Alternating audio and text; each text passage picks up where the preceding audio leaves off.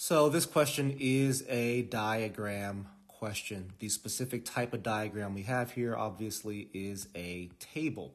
So why do I call it a diagram question? Well, anytime a question provides some visual input, I like to take my attention there first before reading the actual wording of the question.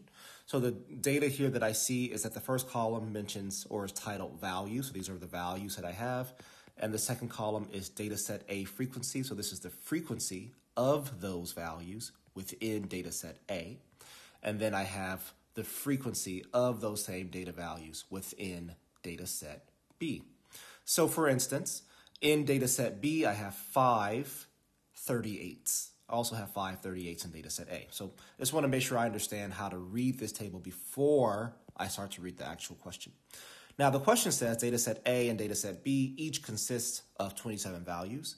The table shows the frequencies of the, of the values for each data set. Which of the following statements best compares the means of the two data sets? Well, I'm going to, if I want to compare the means, I want to just calculate the means.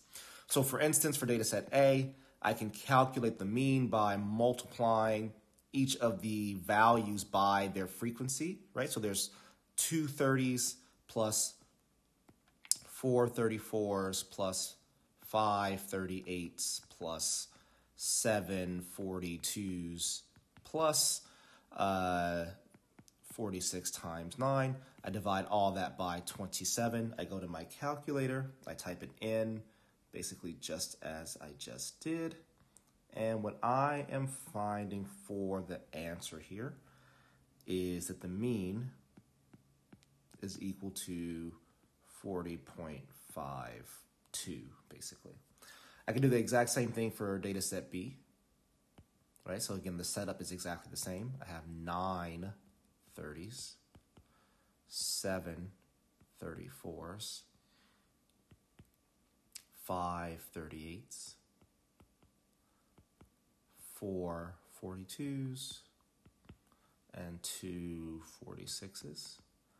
And I'm dividing all that by 27. Go back to my calculator. And what I get there is that the mean is equal to 35.48. So obviously the mean of data set A is larger than the mean of data set B. So the answer choices here says the mean of data set A is greater than the mean of data set B. Choice A, that is absolutely correct.